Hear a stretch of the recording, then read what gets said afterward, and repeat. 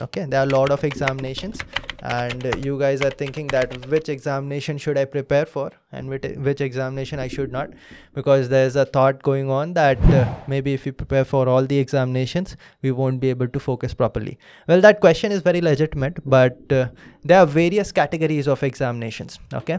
Now when it comes to the category of examination of the top level technical examinations uh, which are national level in this country namely GATE, Engineering Services, ISRO, BARC, and all the PSU examinations that are coming in.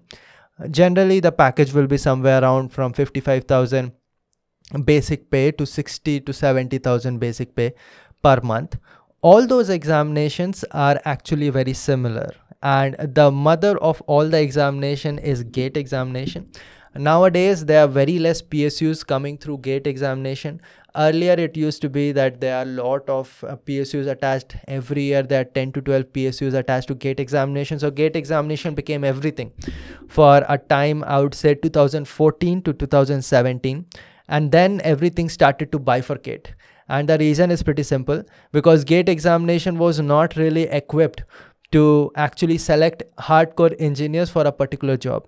GATE examination was simply an aptitude examination which was fabricated to get people into masters, that is MTech.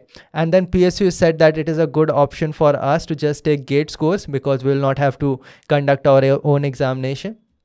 Uh, conducting an examination requires a lot of investment and time by the company. So they all ONGC, IOCL, BPCL, HPCL, uh, BHEL, everyone started to recruit through gate examination. And then what happened? The quality of student they were getting may not be sufficient. So they started conducting their own examinations. Okay. Also, the other biggest problem that happened with gate examination is one particular student or aspirant is getting four or five different PSUs, and the PSU seats are occupied. And after that, obviously, one person can only take one PSU. So four seats are vacant so that was a big problem with gate examination and so now you are going to see that SAIL, Vizag, NLC, these are conducting their own examination. But in any uh, manner, uh, the level of the questions will remain similar. Some examinations will be having general aptitude. ISRO, BARC, GATE will not be having general aptitude. Uh, sorry, not general aptitude, general awareness. So general awareness will not be there for ISRO, BARC, and uh, uh, ISRO BARC and GATE examination. In DRDO also, so far there is no general awareness. So in future also we are not expecting. But PSUs generally will be having general awareness and that brings a different level of you have to prepare all those things as well. But when it comes to BARC, ISRO and GATE examination and also to some extent engineering services examination, the level of questions are almost same. The syllabus are similar. The smallest syllabus will be that for GATE examination and others are also going to be developed a little bit one chapter or one subject added over GATE examination. That will be it. Okay. But it is also suggested that if you're preparing for competitive examination, then you do prepare for multiple competitive examination. So what I'm trying to say is that it is not like if I want to get selected into ISRO, I'll only prepare for ISRO. You will have to prepare for all the examinations in that domain. You understand? So if exams are similar for example barc isro gate and engineering services are similar. They are providing jobs of similar level and also uh, they are having similar level of questions and the syllabus is very similar. Then in that case it is suggested that you prepare for all of those examination because you might not be very aware of the reality. But getting jobs is very difficult when it comes to government sector. So it often happens that you do not get selected in the first turn and 2 to 3 years of you preparing you will not be sitting idle right? So you will be needing some job or the other. For example i wanted to get into isro but i did not get into isro in my first two attempts. So what i did is i joined barc and continue to prepare. So uh, so in that case you'll have to prepare for multiple examination. But it is again i'm going to stress that multiple examinations of so same domain. So for example gate es barc and psu examinations all will be on same same domain. But when it comes to ssc je uh, when it comes to RRB examination, these are a level lower. Also state examinations, these are a level lower. You can easily understand by looking at the pay matrix.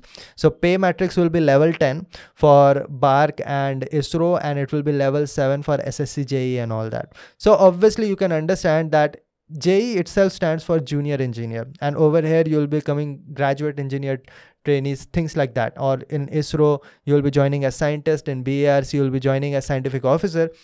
Basically meaning that if you'll be joining an organization at that level, there will be no one above you at entry level. You understand? The boss that you will be having will also be would also have joined in your level only. The only thing is that that person joined a little bit earlier than you okay? So that is the highest level of requirement. So if you are going to prepare for these examination prepare all the examination which are giving entry at this level so number one, it is going to help each other. For example, people who are preparing for ES examination often perform very well in ISRO examination because the level of questions are same and they get more practice over there. They get more experience of giving more examinations.